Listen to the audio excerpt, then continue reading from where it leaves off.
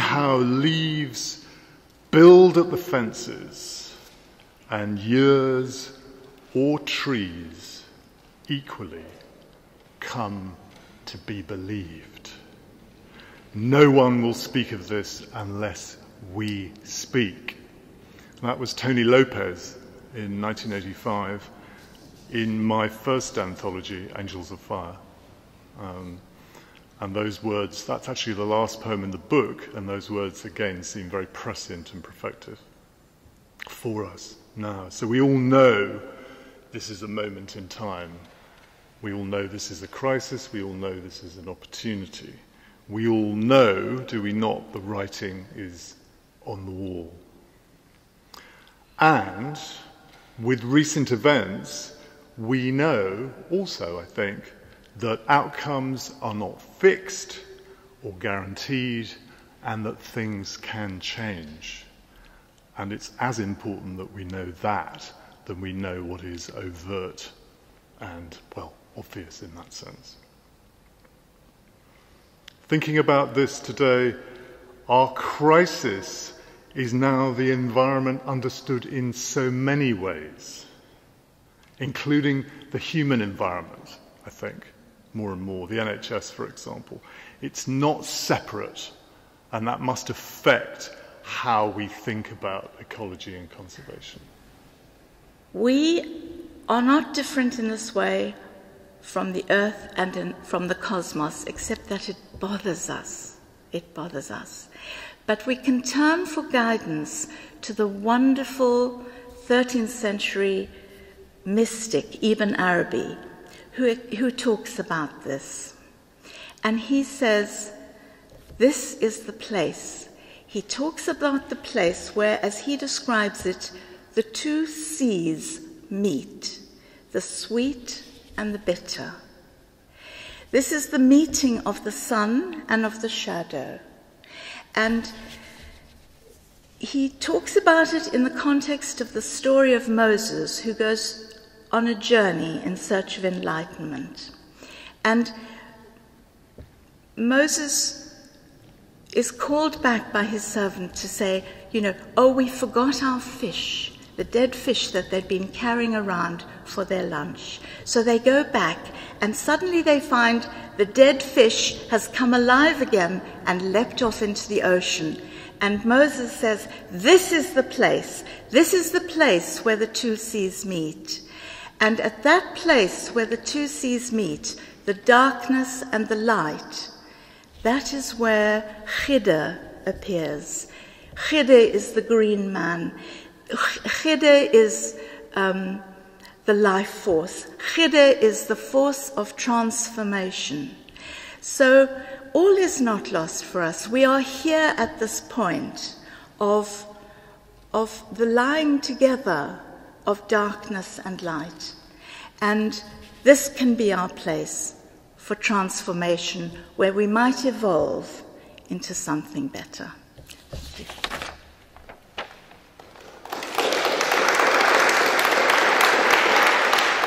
Thank you so much, Jenny, for that inspiring opening to the day.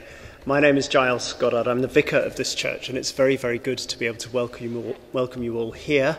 It's been a delight to work with Jay in the preparation of this day.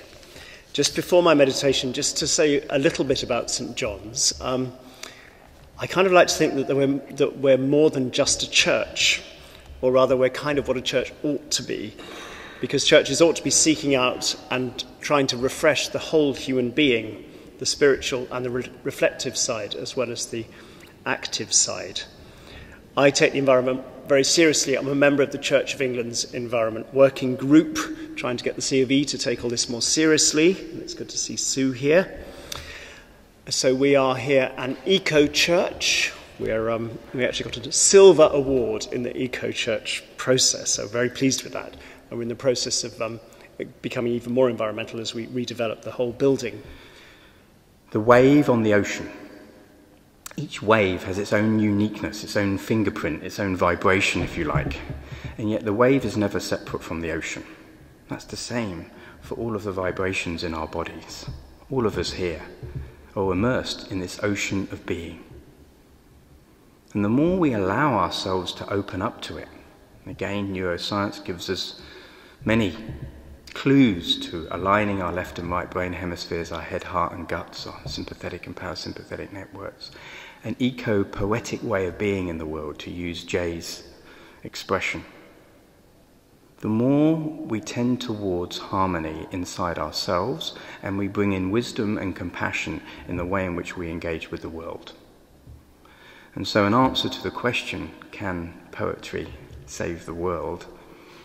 I would put forward that a poetic way of being in the world is the ground from which any worldview that seeks harmony with nature is rooted. And why would we seek anything less as Homo sapiens, as wise beings? Hear, and your soul shall sing says the book of Isaiah. Learn how to see and realize everything connects with everything else, says the great Da Vinci. Look deep, deep, deep into nature, and you will understand everything better, says Albert Einstein. He went on to say that the intuitive mind is a sacred gift. The rational mind its faithful servant. We have created a society that honours the servant and has forgotten the gift. It did not begin slowly, neither was I born into awakening. We lay down in the shining dust, disturbed, bright in the hay of our days. Love ran unweighed, leaving echoes and scent in empty rooms before summer and ice were named. Look again the gulls asleep in the air over a sea hushed with rain are not enduring sadness. There is nectar from the bitter stem. The finch's nest is wound in thorns. Reason is the scorn of love, and sorrow will sweep your house clean.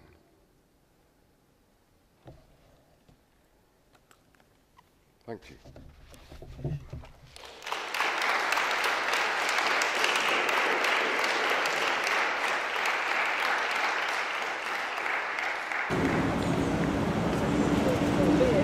So uh, we can uh, enjoy this lovely green space for a moment.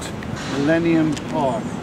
Uh, pause to give you one of my my own uh, ideas of Blake and uh, in the word millennium. I see them as um, characters who are participants in a great uh, tradition as described by Norman Cohn in his book Pursuit of the Millennium. its subtitle was revolutionary millenarians and mystical anarchists of the Middle Ages. so it described all kinds of groups like the Free Spirit and the, the Amorians, the Ranters and so on. Uh, and I see Blake and Rimbaud very much in that tradition, individualist anarchists perhaps, and very, very gifted artists. But I do see that revolutionary millenarianism in their work.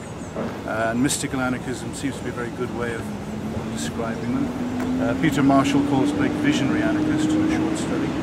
Um, uh, and I see forebears. I see Abiezer Coppe, who used to preach around Southwark. His, his uh, fiery flying rolls remind me of, uh, of Blake's Marriage of Heaven and Hell and Arthur Rimbaud's Season in Hell. And I even see Ginsberg's Howl as a later uh, version, sort of a, whereby a Russian emigre Jew takes it to you know the new land of America. The spirit's still going. Good to eat a thousand years is the last phrase of the opening section of Howl. That, that thousand is always a little obvious millenarian clue.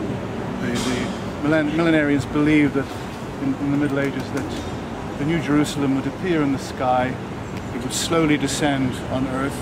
The, the righteous, that's us lot, would party for a thousand years on earth with Jesus and then we would all ascend for the after party, which would go on forever.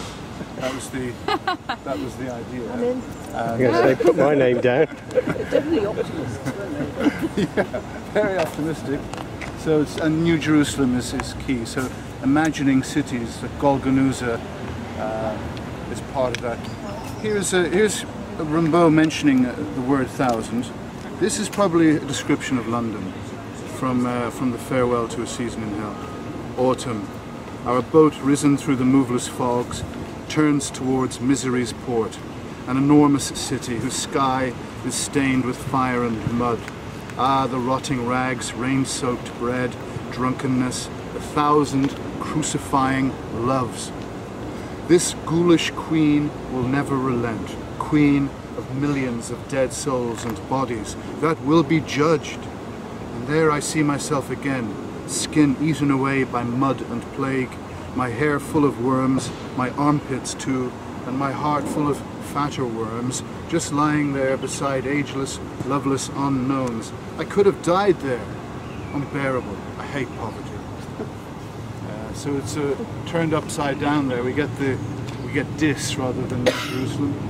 That seems to be he's just come back from London and the terrible trauma Brussels as well. In Blake's time, his local was there, and it was called the Pineapple. It's been modernised, but Blake would have a pint at the Pineapple. But apparently, one time he was he sat down outside some pub, could have been the Pineapple. He was tired. He was carrying copper plates. Suddenly, the angel Gabriel appeared. Blake, get up, get up and rise. You don't mustn't rest yet. Carry on, Blake, carry on. And it became a symbol for him. It was like halfway through his life. Maybe he's beginning to tire. But the angel said, No, you must carry on. I hope he finished his pint then. So there's a convention on biological diversity, which is a global framework, and in 2020, China will host that. And that is a really important meeting where I believe the Chinese, with their current ecological civilization policy, will want to show leadership in looking after nature in the same way they are currently showing leadership in trying to reduce greenhouse gas emissions, while the United States, for the moment anyway, is um, going in a different direction. So that's one convention. The climate convention, Paris Agreement, people have heard a lot about in the news. And trying to pull all of those things together, it's really saying so, what are the three pillars of sustainable development? Economic, which tends to be the driver, social, and how do we include the poor people, many of whom have shown their distress in this country with recent votes, and an economic system that is not supporting them. So that's the second pillar, the social. And the third, which is an even quieter voice, is the environment. So economic, social, and environmental are the three pillars of sustainable development. And I am committed to all three, even though my main role is to shout or perhaps sing after today's workshop for the environment. So I chose a poem which was the first poem I learnt at school. So Jay said that'd be okay. Sorry, you have to understand, I am a scientist. Tiger, tiger, burning bright in the forests of the night, what immortal hand or eye could frame thy fearful symmetry? In what distant deeps or skies burnt the fire of thine eyes? On what wings dare he aspire? What the hand dare seize the fire?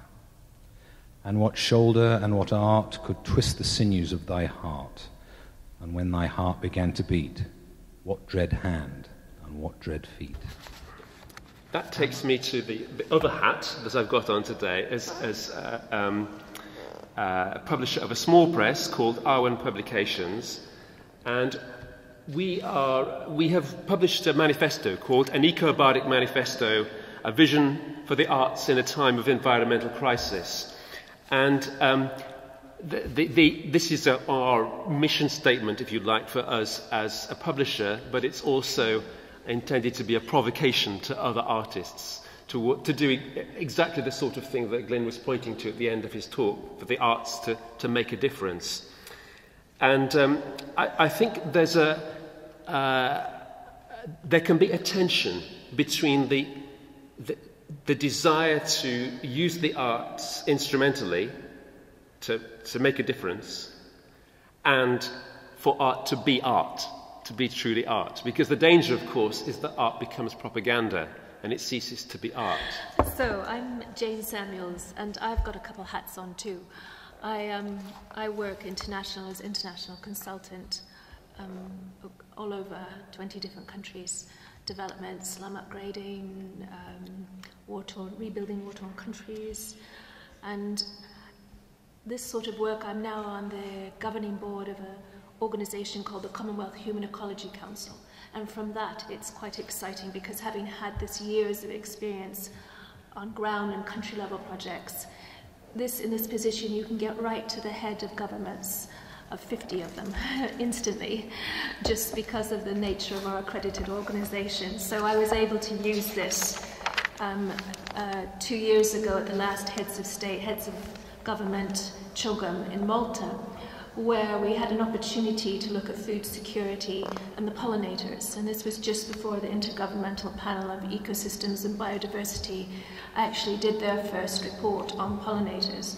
So we had a chance to work with some, some of the leading people, experts and so on, and we put together this report. And we were able to kind of launch this at this event and get this report to the heads of government all of them, and it's quite an exciting position to be in and to create these dialogues. And then now we're actually implementing how do you actually implement these projects? How do you roll them out? And how do you, you know, get in people, and in particularly youth? Um, I was very fortunate to help set up the first UN Youth Envoy office. It took us several years working with a particular government of Norway, but it was a huge effort. And so I have an invest, vested interest in young people, and they're taking part in these events and youth-led development. It's the first time I used a tube in a very long time, and they kept saying, mind the gap. and I think that in all my work and all my writing, what I'm trying to do is mind the gap between what we want and what we dream and what we have dreamed and what is happening to our dream. So I am trying to write things that go right for the gap. And I'm just going to read a piece today that's called the Bill of Truth because I think one of our new gaps that is opened up is between truth and lie, what is fake, what is real. And I believe these could undermine all of our efforts to inspire people to come together at this time. So I'm going to read to you what I've written. It's called the Bill of Truth. We, the people, without exception, declare these truths to be self-evident. Planet Earth is our home, and we do not wish it to be destroyed by the greed of 1% of us. We wish to survive climate change as a global community Profiteering from our extinction is unacceptable to us. Education must not be used as a tool to create slaves for the system. All education systems are failing our children in present time since they are failing to mention that our collective way of life is destroying their future by the second. We do not wish to follow the Armageddon script and use nuclear or other weapons of mass destruction against each other. We are all of one body and of one spirit. Thusly, we live by the law of love, doing unto all others as we would have done unto ourselves, since anything less is the spirit of empire. We do not want our food to be poisoned nor rendered too expensive for the poor if it has goodness in it. We wish to feed the hungry, not watch them die. We desire to save our souls from spiritual ignorance and to evolve into a deeper understanding of ourselves and our Maker, free from ideas about reality and God that do nothing but harm. We recognize that we have infinite potential as yet to be manifest as we choose. There is no fate but what we make. We recognize that because we are all one, If one of us is poor, we are all poor. We cannot live in peace separated from our brothers and sisters by walls everywhere we look. Um, I wanted to say that one of the important subtexts of this invitation to engage, which takes place in two parts. Part one is the panel, part two is a direct poetic and musical invitation to engage, which will follow this panel.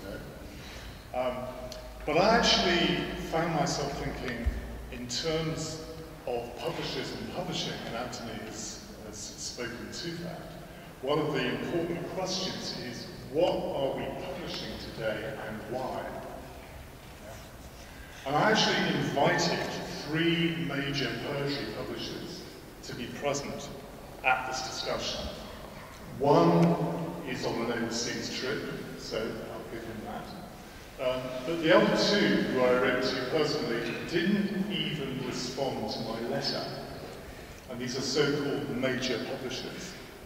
And it seems important that you know that, because the invitation to engage, it seems as if there is no engagement. So I find myself thinking, and in talking to my dear friend Martin Palmer, without whom this day would also not be taking place, Martin was saying, well, if they're not getting it, as it seems that they're not, what are we to do in that situation? And that seems to be a very valid question to be thinking about with, with those of us here. So that's a question I also wanted to reflect back to you, obviously, on our panel. But also, I'd like to hear from anyone in the audience who would like to respond to what panel members have said. And then Sarah said something about coming up from Cornwall. I came up from Cornwall this morning on an extremely crowded train full of holidaymakers, but through ravishing countryside. So immediately we've, never met, but suddenly there's a connection. So I'd really just like to say that poetry is specific, poets are specific, we're some things, we're other things. We're not a huge collective we. Neither are publishers, not all the commercial ones are evil and the indies are good. I mean, we're, we're, we're an absolute network of really minute connections. So I'd, I'd really like to state the word tiger and that happy person in, in China. That just makes sense to me. Think that's such an important point you raised. Thank you so much. That it's personalising it in the way you have. And that's actually what's alive for all of us here. So thank you so much for bringing that forward. It's really valuable. A sudden boggy plummet, and I slide, notebook flapping, into mud and sudden white. The ground's a wedding. Hollyflowers sing in spiders' web strings. Ahead, the bridge is smothered. And I remember today's my wedding anniversary. Nine years ago, we hitched beneath the ash tree in my neighbour's paddock because this is Sussex and that's how we do it. Now a woodpecker yaffles his congratulations. The streams hymning. The water prays, sinking through the hill and my congregations made of clumps of grasses, marsh, and crawling beetles.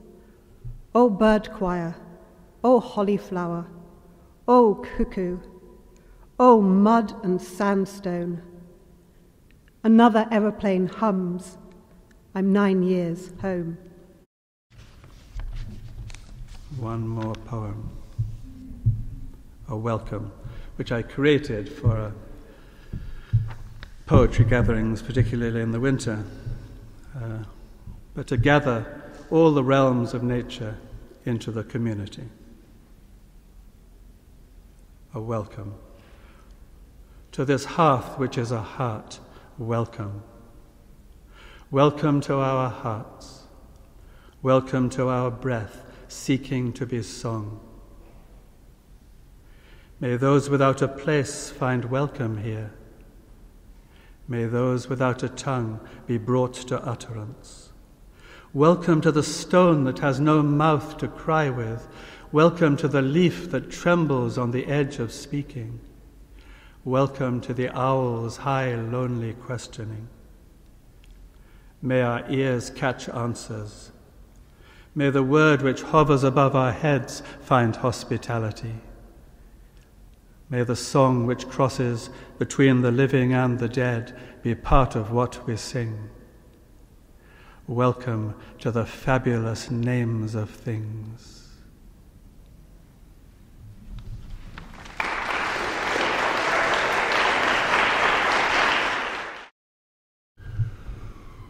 Glory be to Gaia. Glory be to Gaia for rainbows, glaciers, and fresh snow. We honor and praise you, Gaia, mysterious blue planet, unique in this vast universe. Like your widest rivers, our hearts flow with gratitude. Glory be to Gaia for forests, valleys, and exquisite flowers. We honor and praise you, Gaia, Great Mother. Thank you for clean air and water, and all the fruits and seeds manifest through your abundant power. Glory be to Gaia for birdsong, mountains, and clear lakes. We honor and praise you, Gaia, giant, pulsating orb of life from which we've grown. Please help us find our interdependence with all animal and human kin. Glory be to Gaia for millipedes, worms, and all tiny creatures. We honor and praise you, Gaia, ceaseless wheel of life. We embrace your eternal cycle, the rich soil our bodies will become, and the gift this present moment is. Glory be to Gaia. For whales, phosphorescence, and fish, we honor and praise you, Gaia, planet jewel of the cosmos, sacred being infused in our DNA. Please light the spark of peace in us, that we may serve this precious life. Babylon, a neoliberal theodicy, a modern adaptation of the 1000 BCE poem by Sagil Kinam Ubib. 1. Urset La Tari. The ideological parents are dead. The ideological parents are stored in money vaults.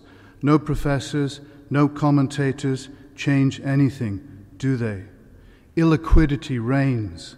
The orphans of neoliberalism, children who cannot understand what mathematics mathematicians do to them, cry privatizedly from the Switzerland of no return, sequestered in Babylon. 2. Huber.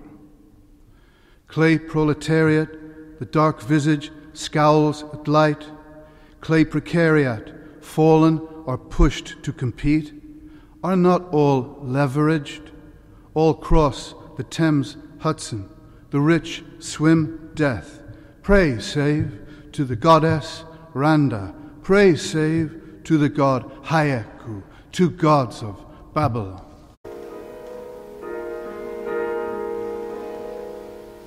The black country night of the present time goes clinking with silver down the land, small cries of newborn life, and the constellations in the rocking dark of late August dog days.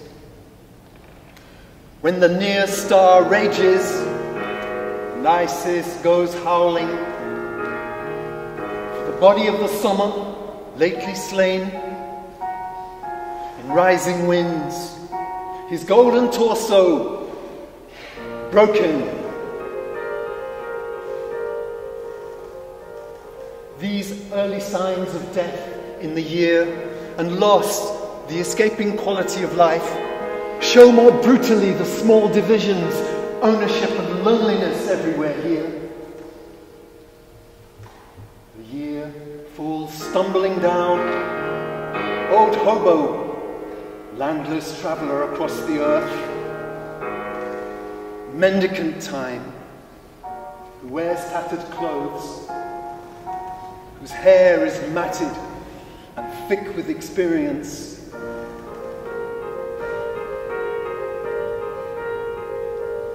And the last country night of the royal stars sighs in a long black avenue of limes, pines for the outcast in deepening obscurity, who runs in his exodus westward.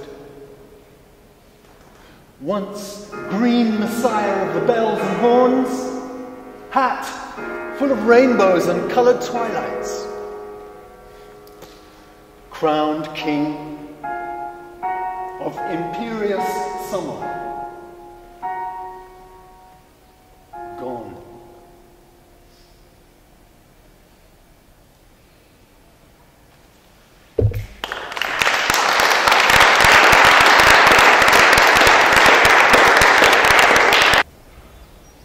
This age of darkness, ness, ness, ness. Age of toil and strife, of services unrendered, and of truth denied. Age of destruction, cataclysms, and wars, age of great hunger and of hate which gnaws. Age when we fear to welcome in our sun, age when air chokes and rivers cease to run. Age when trees die, denuded of green life. Age when food poisons and the soil deals death to life. Age of confusion. Age of misused sound. Dissonant age which now breaks up our ground. I'll praise this age. Porch after R.S. Thomas. How close do you feel to God? Asks the priest. As I sit with my back to the altar, God answers for me, throws open the locked door of my heart, turns the heavy ring of the handle, lifts the stiff catch, takes away my breath on the swing of smooth hinges, lets in the air that is everywhere. God isn't arriving nor leaving through this four-chambered porch under my ribs. He is the opening and the door, the push and pulse of whatever moves through me, the whole red messiness of love. We do not know how these ancient islands, once of the blessed, will fare. Shall we hold ourselves close and closed, separate, safe, among our cliffs and inlets, yet vulnerable, as we must be, to the blustering winds and the currents of change? Or open, open to the unknown, unknowable, coming at us on swirling wings, feathered, clawed, and on fire, out of the ashes of the comfortably familiar?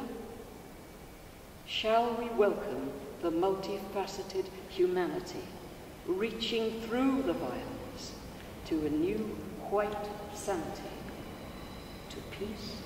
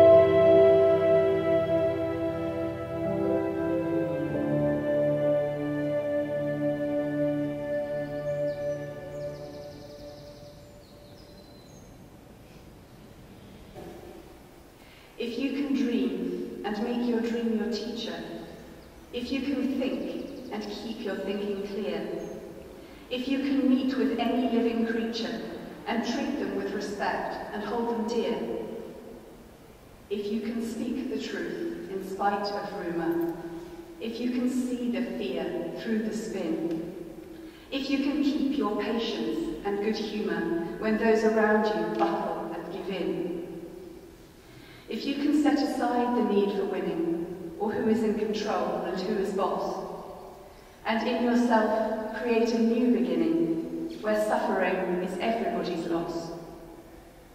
If you can honour air and soil and water and love the living land you walk upon, if you can show your son and teach your daughter to do the same long after you are gone, if you can know yourself to be the equal of anybody you have ever met, if you can know your story has a sequel, more beautiful, that isn't written yet, if you can fill the day and month and season with true and ever clearer ways of seeing, yours is the earth, by love and rhyme and reason, and, which is more, you'll be a human being.